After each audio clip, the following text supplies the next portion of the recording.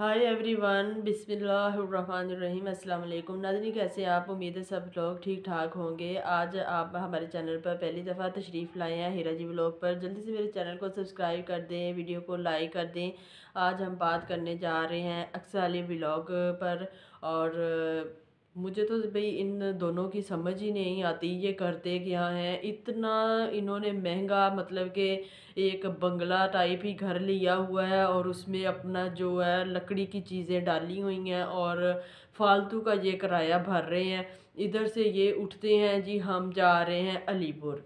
और अलीपुर उधर जाके महीनों पड़े रहते हैं, पड़े रहते हैं, जी, हम बीमार हो गए, हमें ये हो गया, हमें वो हो गया।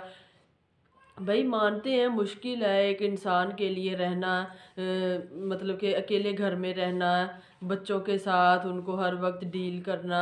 तो फिर आपको इतनी क्या जल्दी पड़ी हुई थी कि आप जल्दी से अलहदा हो गए? अली अली से मेरा ये सवाल है, अली भाई से, कि आप जल्दी से क्यों अलहदा हो गए अपने घर अपनी अम्मी से? तो अपनी अम्मी के साथ ही रह लेते ना आप। तो उधर तो आपको जल्दी पड़ी हुई थी कि अपनी अम्मी से मैं जल्दी से अलहदा हो जाऊँ? पता नहीं कितना जुल्म कर दिया आपकी अम्मी ने। आपको ज़रा भी शर्म नहीं आती आपकी अम्मी ने आपको? जैसे आप अपने बच्चों पे जान देते हो ना, अपने बच्चों को पाल रहे हो तो आपकी अम्मी ने भी आपको ऐसे ही पाला है। अगर एक बच्चा होता है ना छोटा, वो अगर कह दे कि, माँ पूछे, बेटा, खाना खाओगे? माँ, बच्चा बोल दे कि, अम्मी, मुझे भूख नहीं है। अम्मी को फिर भी तसल्ली नहीं होती। अम्मी फिर भी उस बच्चे को गोद में लेके बैठ जाती है कि, बेटा, आ जाओ, मैं आपको खाना खिलाती हूँ। बेटा, एक बाइट ले लो। बेटा, थोड़ी सी खा लो। अगर जब औलाद का फ़र्ज़ बनता है कि वो जब माँ बाप बुढ़ापे में आ जाते हैं तो बच्चे तो एक उठेंगे हाँ अम्मी, आपने खाना खाना है। अम्मी अगर बोल दे कि नहीं, पुत्र, मैनू भुख नहीं अज तो बच्चे बस हाँ अम्मी की रोटी ना पकाई। अम्मी कहते मैं नहीं खानी। बेटा एक से दूसरी बार पूछना भी गवारा नहीं करता अपनी माँ से कि माँ, आपने रोटी क्यों नहीं खानी? वो माँ ही होती है जो बार बार अपने बच्चे से पूछ रही होती है, बेटा, एक बाइट खा ले, तुझे रात को भूख लग जाएगी। ये होता है माँ का प्यार। अली, आप तो अपनी माँ की एक रात का भी हक अदा नहीं कर सकते।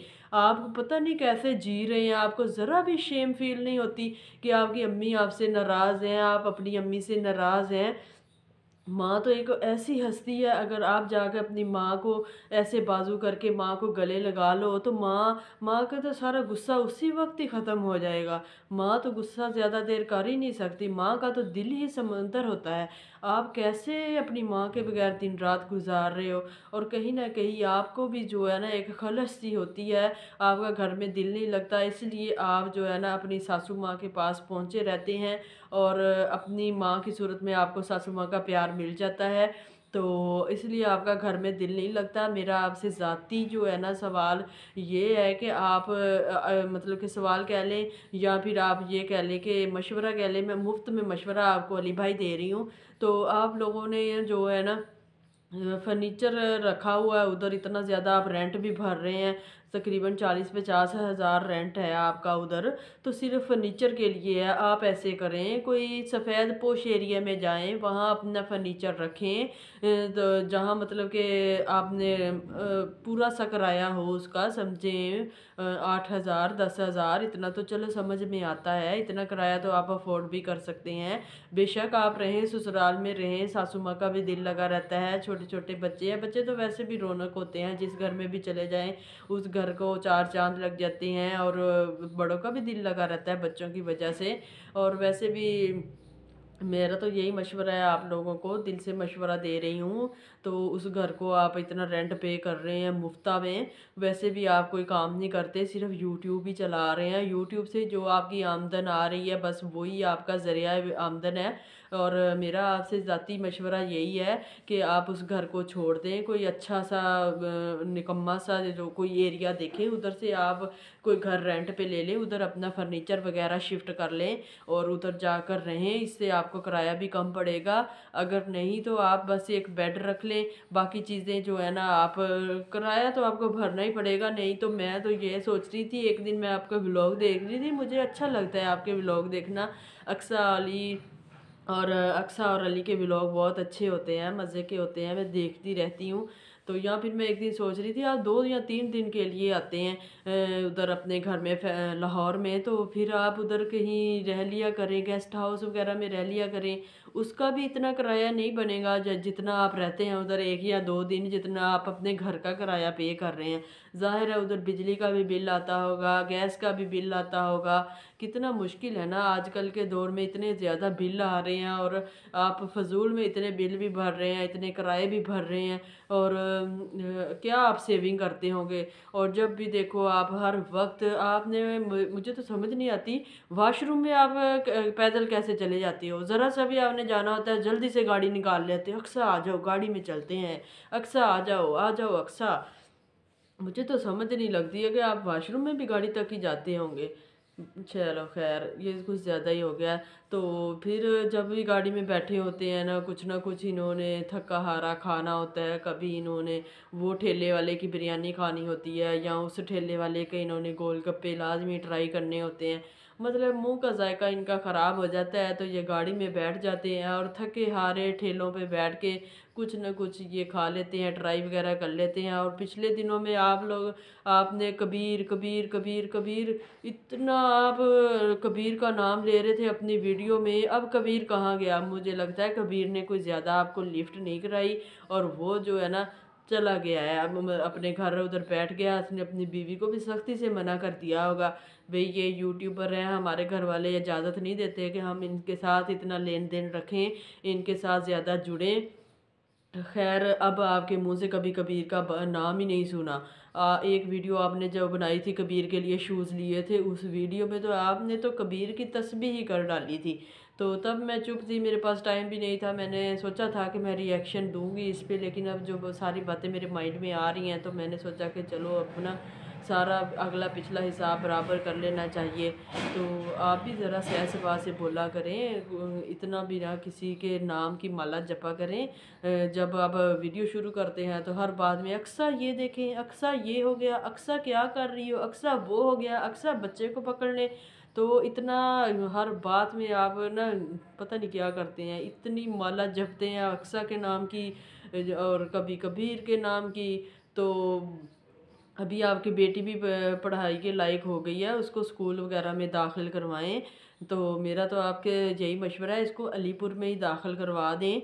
इधर इसके मामू वगैरह हैं, आपका भी साथ रहेगा तो आप गाड़ी में जाया करिए, व्लॉग बन जाया करेगा, उसको स्कूल से लेके आया करेंगे फिर ले छोड़ने जाया करेंगे, ज़रा व्लॉग आपका लंबा बन जाया करेगा।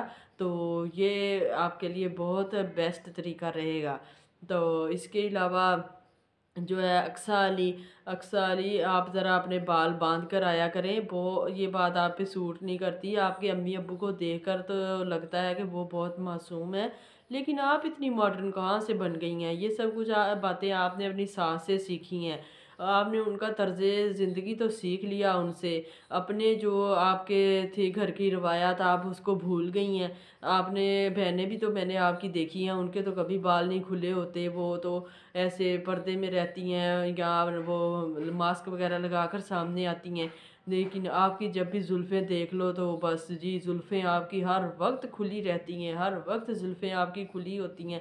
ज़रा भी नहीं अच्छा लगता। पिछले सालों में आप लोगों ने ब्रांड वगैरह का काम शुरू किया था।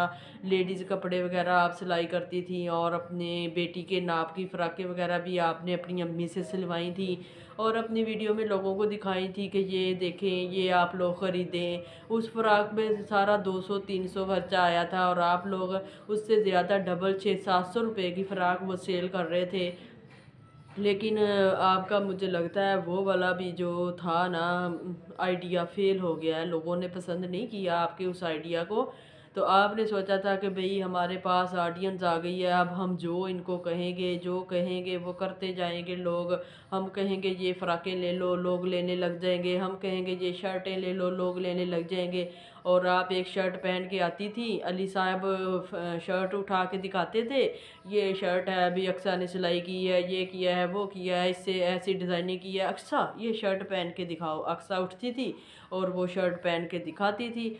और अब वहाँ वाले आइडिया मुझे लगता है आपके फ्लॉप हो गए होंगे। कोई आप भी कमल आफ्ताब की तरह कोई अच्छा सा काम जो ढंग का भी हो, इज़्ज़तदार भी हो, कोई पार्लर वगैरह खोल लें कोई सिलाई सेंटर वगैरह खोल लें मुनासिब फ़ीस रखिएगा, उसकी महँगाई बहुत ज़्यादा हो गई है और आगे भी महँगाई बहुत ज़्यादा होने वाली है।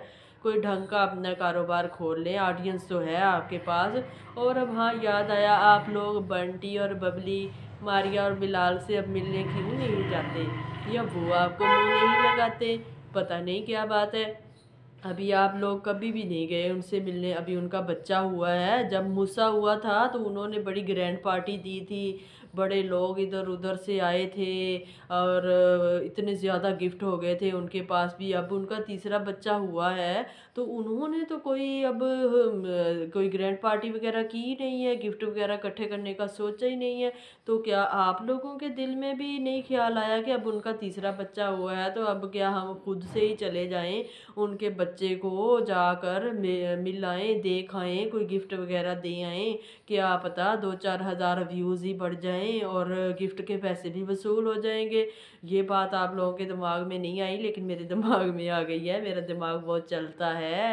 ऐसी बातों में तो अगर मेरा ये वाला आइडिया पसंद आए तो ज़रूर जाइएगा, उनके बच्चे को भी देख आइएगा और दो चार दिन उधर रह आइएगा, खाना शाना खा आइएगा, अपना भी बजट मुतासर नहीं होगा तो अगले से बंदा मिलजुल लेगा माइंड भी फ्रेश हो जाएगा और इसके अलावा व्यूज़ भी दो चार बढ़ जाएँगे, दो चार हज़ार, मैं तो दो चार हज़ार की बात कर रही हूँ, क्या पता इससे ज़्यादा बढ़ जाए। उधर की ऑडियंस इधर आएगी, इधर की उधर जाएगी, जब वो बंटी और बबली आपके व्लॉग में आएँगे, लोगों को अच्छा लगेगा और वाकई बहुत अच्छा लगेगा लोगों को। तो फिर कितना मज़ा आएगा? और क्या पता कोई दो चार सौ डॉलर और बढ़ जाए। तो मैं तो कहती हूँ, ज़रूर जाइएगा। आइडिया बुरा नहीं है। पहन समझ कर दे रही हूँ आइडिया। इसको ज़रूर कैश करवा लीजिएगा अली भाई। वैसे ज़ाती तौर पे मुझे आपके ब्लॉग बहुत अच्छे लगते हैं। मैं बहुत शौक़ से आपके ब्लॉग देखती हूँ। और कोई भी ब्लॉग मैंने आपका मिस नहीं किया। ख़ास तौर पर मैंने वो जो शादी के ब्लॉग थे ना, वो मैंने नहीं देखे थे। उनमें मुझे कोई इंटरेस्ट नहीं था। तो वैसे जो आपकी जो डेली की रूटीन होती है ना, मुझे अच्छी लगती है और आपका जो बेटा है, माशाल्लाह से चश्मे पदूर नज़र ना लगे। इतना कोई प्यारा है ना क्यूट सा बेबी है। बहुत प्यारा है, कटोरे में कटोरा। बेटा, बाप से भी गोरा। इतना माशाल्लाह हसीन बच्चा है ना, मैं तो उसको देखती रहती हूँ और आयशा भी माशाल्लाह से बहुत क्यूट है।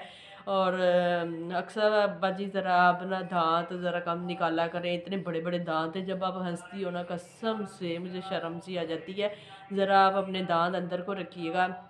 चलिए नाजरीन, आज का आपको रिएक्शन कैसा लगा है? उम्मीद है आपको रिएक्शन अच्छा लगा होगा।